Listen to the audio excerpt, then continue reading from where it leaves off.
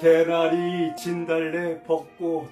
야, 향기 좋다.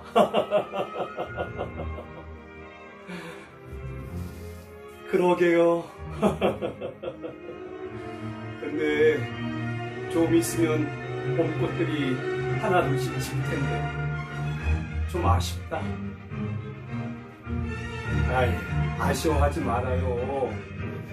봄에 태어난 당신은 나에게 영원히 지지하는 봄꽃이니까요.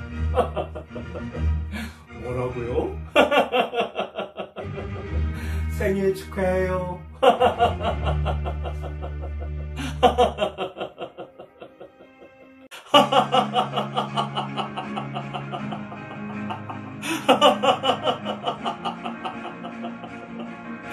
안녕하세요.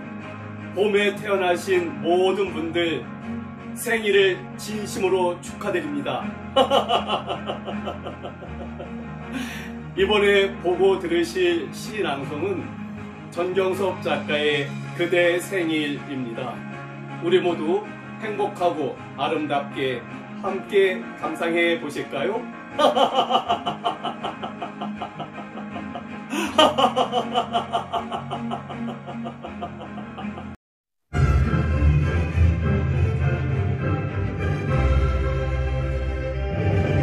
그대 생일. 전경섭.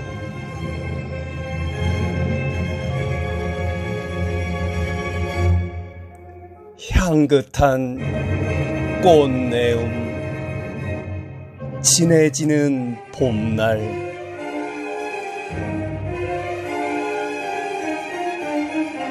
아름다운 나비처럼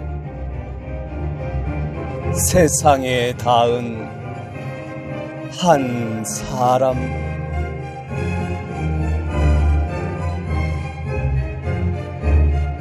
세월 흘러 모든 꽃이 진다 해도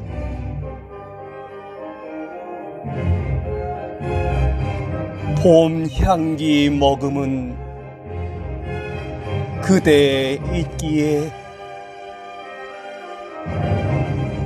계절이 지나도 슬프지 않습니다.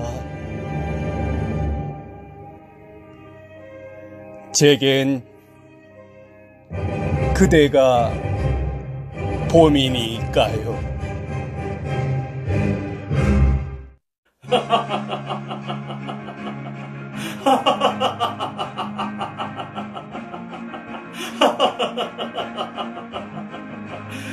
잘 보고 들으셨나요?